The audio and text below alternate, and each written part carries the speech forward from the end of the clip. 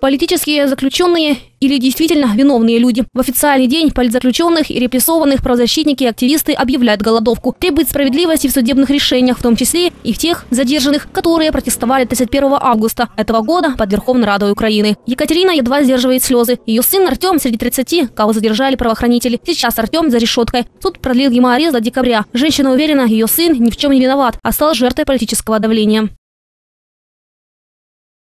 Было сделано все, все адвокатами, эм, чтобы, эм, то есть вся доказательная база прокуратуры, следствие была полностью доказана адвокатами как недопустимое, никчемное. Но тем не менее э, судья принимает решение, э, чтобы ему продлить меру э, пресечения под стражей в сезону. Эм, То есть логики, кроме как политический заказ, в решении судьи ну, не было видно.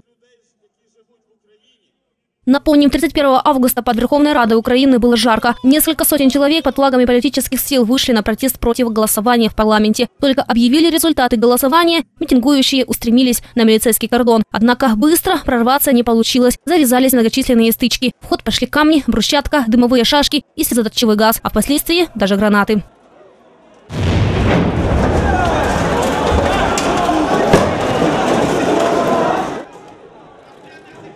Были ранены более сотни правоохранителей, четверо из них погибли. Через некоторое время мужчину, который якобы бросал гранату, поймали. Кроме него правоохранители задержали еще 30 активистов, среди которых был также сын Анны. Женщина не знает, что делать. Говорит, ее сын пришел в Верховную Раду только чтобы выразить свое мнение без какой-либо агрессии. Зато его задержали и держат под стражей второй месяц.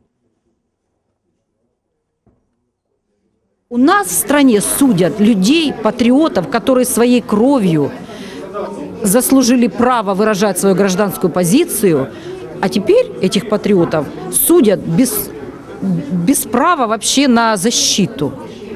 Вот это меня больше всего убивает. О нарушении прав человека в отношении задержанных во время событий под Радой говорят и правозащитники. нарушение всех фундаментальных гарантий прав человека а, Европейской конвенции с прав людей. Потому что таких нарушений и при задержании, и дальше в судебных процессах, даже я, много лет практикующий адвокат, очень давно не видела. Очень давно. А Мало того, что при задержании ребят там как животных везли в РУВД в багажниках, их избили. Мало того, что там а, на них оказывается серьезное давление. Но у нас просто удивительные суды, которые проходят а, по этим ребятам.